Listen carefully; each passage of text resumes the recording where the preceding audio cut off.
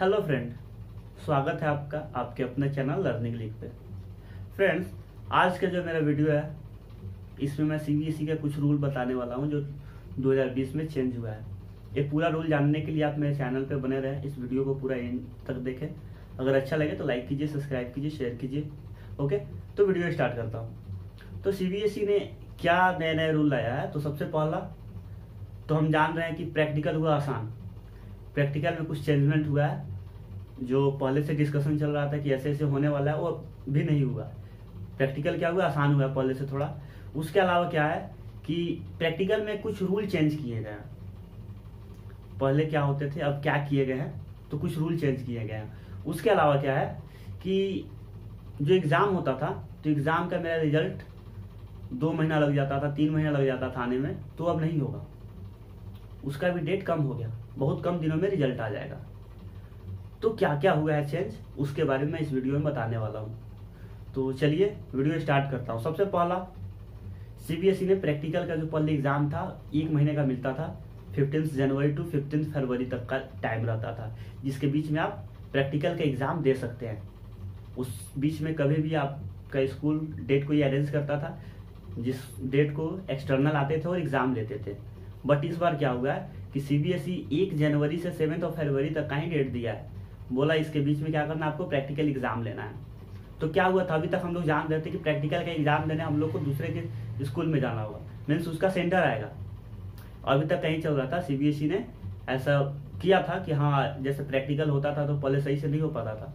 तो उसके लिए सीबीएसई ये सोचा कि क्या करते हैं प्रैक्टिकल का सेंटर दे देते हैं। जैसे बोर्ड का हम लोग का सेंटर होता है ना एग्ज़ाम का उसी तरह इसका सेंटर दे देते हैं। जब सेंटर होगा तो प्रैक्टिकल अच्छे से होगा और बच्चे कुछ सीखेंगे।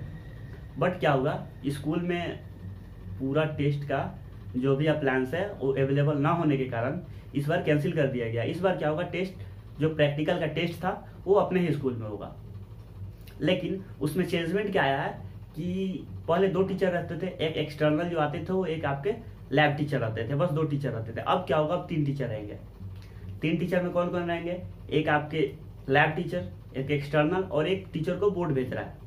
बोर्ड अपने तरफ़ से अपॉइंट कर रहा है एक टीचर को, जो रहेंगे। उनका काम क्या है? वहाँ पे बैठ के पूरे सिचुएशन को देखना कैसे कैसे हो रहा है कौन सा प्रैक्टिकल हो रहा है, कौन स्टूडेंट कर रहा है, कौन नहीं कर रहा है। उसके अलावा जो प्रैक्टिकल कॉपी वगैरह होता है, वो सबको देखना उनका काम है, जो भी प्रोजेक्ट वगैरह है। फिर उसके बाद क्या है? पहले था कि मतलब एग्ज़ाम हो गया एग्ज़ाम के बाद में रिज़ल्ट बना के भेज दिया जाता था। बट अब ऐसा नहीं करना है। आपका प्रैक्टिकल खत्म हुआ सीबीएसई एक लिंक भेजेगा। उस लिंक पे उसी डेट में उस रिज़ल्ट को पब्लिश कर देना है। ठीक है? तो उसमें क्या क्या होगा? तो जैसे आप प्रैक्टिकल दे रहे हैं तो प्रैक्टिकल देते समय आपका फ़ोटो लिया जाएगा। मीन्स आप किस चीज़ का प्रैक्टिकल कर रहे हैं। ठीक है? आप जिस चीज़ का भी प्रैक्टिकल वो पूरा क्लियर आना चाहिए कि हाँ ये स्टूडेंट है एक प्रैक्टिकल कर रहा है। दूसरा चीज़ क्या किया है? जब प्रैक्टिकल खत्म होगा आपका तो उसी वक्त सारे स्टूडेंट को एक साथ लेके, उसमें आपके लैब टीचर रहेंगे एक्सटर्नल रहेंगे, और जो सीबीएसई जिस टीचर को आप अपॉइंट किया, वो टीचर रहेंगे। इन सब तीनों टीचर रहेंगे और पूरे बच्चे का एक साथ फ़ोटो लिया जाएगा और उस फ़ोटो को पोस्ट कर दिया जाएगा। फेसबुक सॉरी जो सीबीएसई का साइट है उस पर उसको पब्लिश किया जाएगा। तो ये था मेरा प्रैक्टिकल के एग्ज़ाम को लेकर चेंजमेंट मीन्स अभी हम लोग के लिए राहत है, दूसरे के स्कूल में नहीं जाना है, उसका सेंटर नहीं पड़ा है प्रैक्टिकल के एग्ज़ाम के लिए। दूसरा, जो बोर्ड का एग्ज़ाम है, उसको लेकर क्या क्या चेंजमेंट आया तो पहले होता था दो तीन महीना लग जाता था मेरा रिज़ल्ट आने में, जिसके कारण क्या होता था, हम लोग सेशन में लेट हो जाते थे। या ऐसा भी होता था कभी कभी कि हम लोग को वेट करना पड़ता था, बट अब ऐसा कुछ नहीं है। अब क्या किया है within twenty days CBSE अपना रिज़ल्ट जारी करेगा। सीबीएसई का जो रिज़ल्ट है within twenty days publish हो जाएगा। जिससे क्या होगा? हम लोग को आसान हो जाएगा। मीन्स थर्टी मार्च को एग्ज़ाम तो खत्म होता है, सबको पता है। उसके बाद में क्या होगा? Within twenty days means अप्रैल के एंड तक मेरा रिज़ल्ट आ जाएगा। जब अप्रैल के एंड तक आ जाएगा तो क्या होगा? हम आसानी से कहीं एडमिशन ले सकते हैं करेंट सेशन में। मीन्स हम लोग बैक भी नहीं होगा।